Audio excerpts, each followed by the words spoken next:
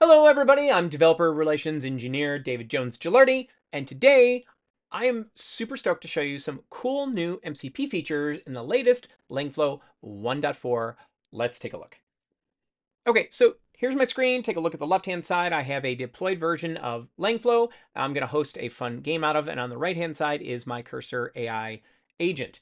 Um, so my goal here is to go ahead and set up, I, I, built a very simple Wordle game, if you remember the game Wordle, um, and I did it 100% in LangFlow, right? And now with the new MCP server changes that I'm going to show you here in a moment, we can play that game very easily here in Cursor or with whatever AI agent that can talk to um, MCP.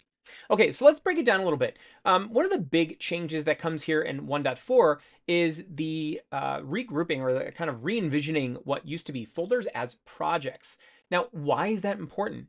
Because if you think about it, I know for me personally, if I take one of my other projects, I have many projects that have multiple flows, and I don't want to expose all of them as MCP tools. Matter of fact, in this particular case, there's only one I want to expose as an MCP tool that acts as kind of like the interface for the rest.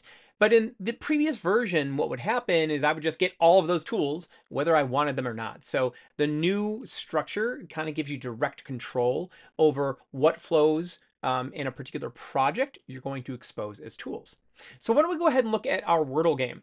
Um, notice here I've got two flows. So one of them is going to be responsible for starting the game the other one is going to handle when you're evaluating each one of the guesses, right?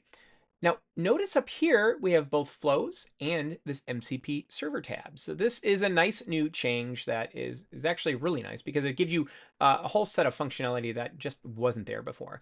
Um, notice one right out of the gate, you get your MCP server configuration. Um, so this is really important when you're, say, configuring something like Cursor or Claude or whatever. If I come down to MCP and I want to configure this, right? Then what I'm going to do is I'm going to come into my config. I'm going to make that a little smaller so we can see it. And you'll notice I have a set of MCP servers. But then this, notice this chunk right here. That matches what we're seeing here. So this makes it very easy for me to just say, hey, guess what? I want to expose this project as an MCP, you know, server with whatever tools I, you know, enable. And then I'm just going to copy this configuration command over into my cursor. Now, notice I have one extra little parameter in my particular case, this generate API key. This is super important if you're using a secure version of LangFlow. You can set this up when you um, build your server if you're doing it that way. It's if I'm going to expose this to everybody, it's very important that it's secure. So what's really nice is now all I need to do is say generate API key. It'll put that right here into my command. I can literally copy that command. I'm going to come over here and just put this in place, paste it in, and now when I come over here, I'm going to refresh. Now you'll notice at first it says no tools available. Well, why is that? Well, because I need to add some actions. Remember, I've got some flows in my project, but I need to pick which ones I'm going to enable as tools. So I'm going to say add actions, and then I'm just going to pick them. I'll get out, come back over here, refresh, and boom, now I have two tools that I have exposed as MCP tools directly out of LangFlow. Um, now, again, imagine if I had a project that had a lot of flows, but I only really wanted to expose one or two of those, this gives me direct control. Not only that, if I go here to edit actions, I can change the uh, description and things like that, like right here out of the gate. And this is going to be what my downstream or my, I should say my upstream agent gets, right? So super important that you have control over here. Before you had to do this like in the name the description, like in the flow, it this just makes it a little more direct and, and really more focused on working directly with MCP tools. Okay, great. So why don't we go ahead and uh, let's go over here. We're gonna go to my chat and let's just say, let's um using the tools, using your tools. How about using your tools? Let's play a Wordle game. Okay, Let's see what Cursor does with this. Great, so notice what it's doing. It's immediately saying, hey, I wanna run Wordle start game. And it is determining that this upstream agent is determining which one of these tools makes sense given um, the description and such. Okay, great. So it has started a game.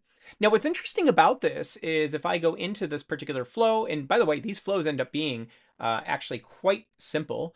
In this particular case. I found that Claude 3.7 did a really nice job of generating those five letter words.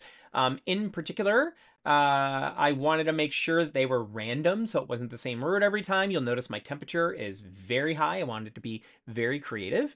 Um, but if I take a look at the playground, I just gave away the answer, which is okay.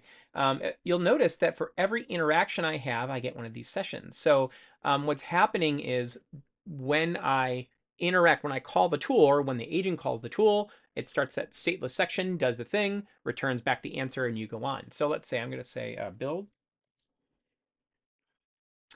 And you know, it, okay, so use Wordle start game uh, for the first one, but now it's going to use evaluate guess, right? And actually, while that's doing that, I'm going to pop over to evaluate guess and let's see what it does. Okay, my guess build, and then it gives me this nice little kind of this little cute UI, right? Um, so it looks like I have one letter, but it's in the wrong position kind of thing.